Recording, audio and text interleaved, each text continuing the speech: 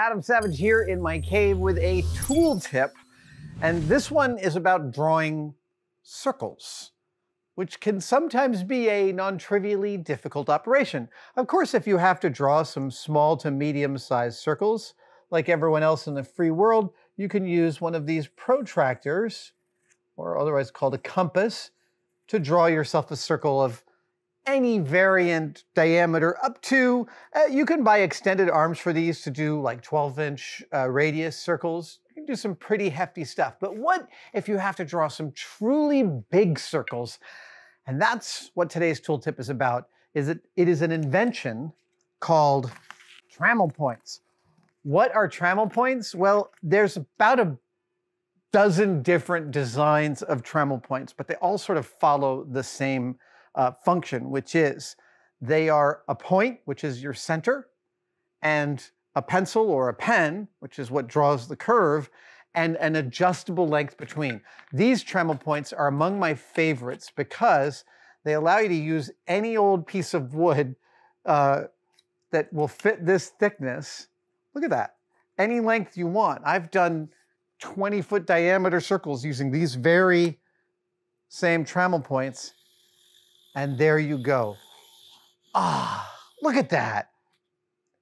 These are my favorite designs. Again, they make them in many different form factors. They clip on rulers and other things.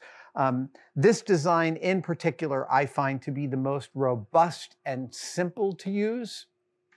There is one other tool that kind of suffices for the same purpose, and it is this one, the Rotape. This is a crazy, this is like one of those late night TV things that I actually think is great.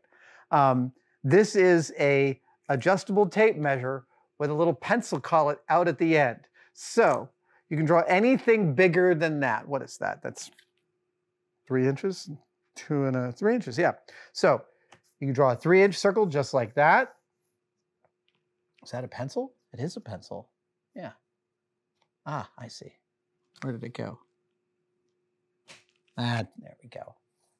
So you can draw that circle, or you can extend the tape measure out and you can draw that circle.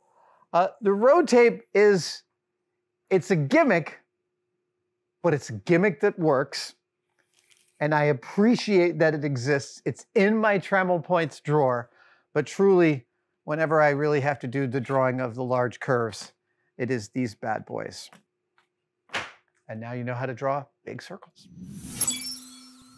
Thanks for watching that video. If you want to support us, one of the best ways you can do it is going to our merch store and purchasing one of our beautiful new posters. This one right here is called Elevations of Bear. And this is a, uh, a compendium of 16 pages from my sketchbook when I was actively building my bear costume for San Diego Comic Con a few years ago. What did I do with a bear costume at Comic Con?